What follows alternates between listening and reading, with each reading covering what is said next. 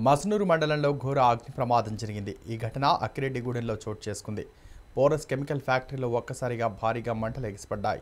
ఈ ప్రమాదంలో ఐదుగురు మంటల్లోనే సజీవ దహనమయ్యారు. మరొకరు ఆసుపత్రికి తరలిస్తుండగా మృతి చెందారు.